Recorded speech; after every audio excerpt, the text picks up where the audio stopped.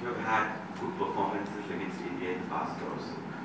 So like, what if it like you have a you seem to have a good reading of the Indian pitches. Like, how does it work for you? What is the process that works for you when you read Indian pitches and situations?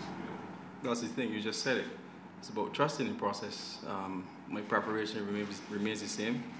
Just about being able to adapt to each surface, each continent you play on, and as I say, it's just about passion and drive and finding that motivation to go out there and do what's required for the team.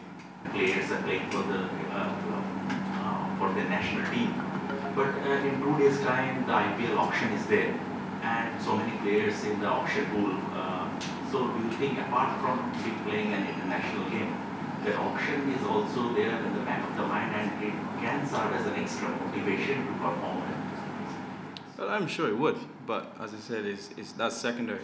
We came here to play a series against India and to win a series against India. So whatever comes secondary, that's as I say, secondary. So I'm sure some of the guys will be looking forward to that auction, but we have the Indian series to play, and that's the main thing right now.